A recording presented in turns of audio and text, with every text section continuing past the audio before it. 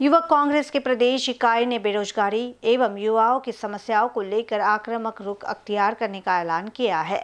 संगठन के प्रदेशाध्यक्ष कुणाल राउत ने कहा, रिक्त जगह एवं परीक्षा समय पर लेने की मांग को लेकर ज़रूरत पड़ने पर राज्य सरकार के खिलाफत होगी। उनके पिता नितिन राउत के ऊर्जा मंत्रालय की बिजली कंपनियों पर भी मोर्चा निकाला जाएगा।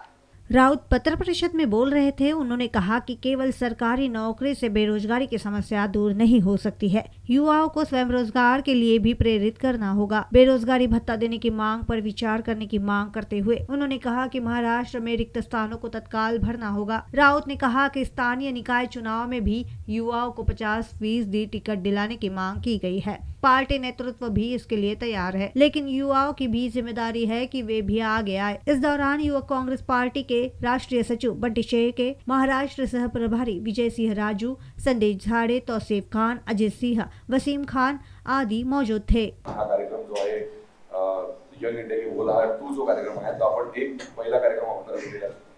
आणि एक लहानसा मुलगा एकवीस वर्षाचा मुलगा कृष्णा कृष्णा. हा इथे बसला होता एक लहान मुलगा होता कृष्णा. तेवढे एकवीस वर्षाचा मुलगा आहे तो औसा विधानसभेतला येतो.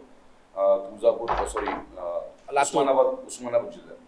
तर तो एकवीस वर्षाचा मुलगा जो आहे या कार्यक्रमाच्या माध्यमातून यंग इंडियाच्या बोल या कार्यक्रमाच्या माध्यमातून तो आता राष्ट्रीय प्रवक्ता झालेला एकवीस वर्षाचा होता तर त्याच्यामुळे आता गोनानीजींनी कुणालजींनी पण आता सांगितलं तर बऱ्याचशा काही गोष्टी आहे की बा युवक बेरोजगार युवकांच्या मनामध्ये म्हणा किंवा बाकी जे युवक आहेत त्या युवकांच्या मनामध्ये खंत आहे की बा आपण काही करू शकून नाही राहिलो आपल्याला काही प्लॅटफॉर्म मिळून नाही राहिला. त्याच्यामुळे राहुलजी गांधींचं स्वप्न आहे की बा चांगले मुलं जे आहे चांगले मुलं चांगले वक्ते या कार्यक्रमाच्या माध्यमातून ते आले पाहिजे.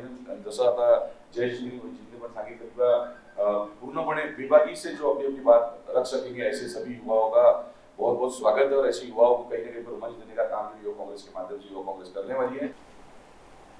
ज़िले स्तर पर जो वक्ता अपने विचार बेबाकी से रखते हैं, सही रूप से रखते हैं, उन्हें चयनित किया जाएगा।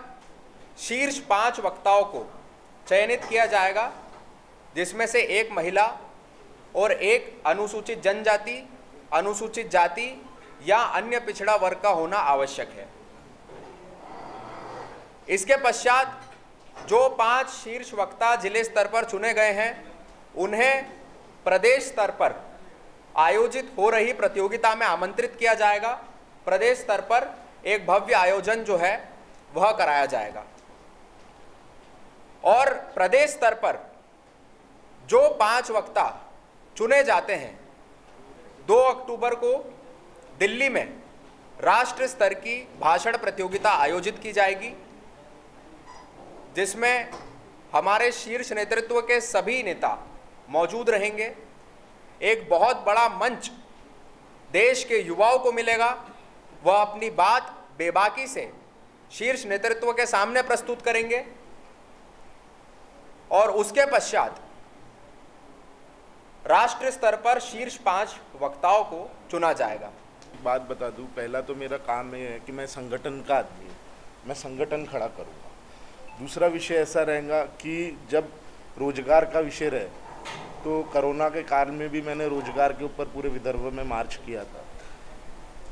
मेरे फादर के पास भी एक ऐसा डिपार्टमेंट है जिसमें रोज़गार का बहुत बड़ा बहुत बड़ा, बोल सकूँ कि लोग वहाँ पे रोज़गार लग सकते हैं। मौका पड़े तो मैं उनके भी खिलाफ जाके, उनके खिलाफ मोर्चा करने के लिए तैयार हूँ, जब रोज़गार की बात आई। मेरी सरकार, भली हमारी महाविकास आघाड़ी की सरकार है, और जिस प्रकार से आज देश में हालात चल रही है, कोरोना के कारण बहुत सारे लोगों की जॉब चले गई, हम धीरे धीरे पटरी पे आ रहे हैं, परंतु रोज़गार नए प्रोड्यूस नहीं कर पा रहे। मेरी ये विनंती रहेंगी ये सरकार से कि वो कुछ नए तरीके से हमारे लोगों को कुछ युवाओं को एंटरप्रेनर बनाने की कोशिश करने के लिए कुछ नई योजनाएँ लेके आए, जिससे हमको रोज़गार के ऊपर डिपेंड ना होते हुए खुद के बिज़नेस क्रिएट करके हम दूसरों को रोज़गार दे सके, ऐसी योजनाएँ लेके आनी चाहिए। इसके भी हम लोग प्रयास करेंगे और सरकार के लिए बोलेंगे।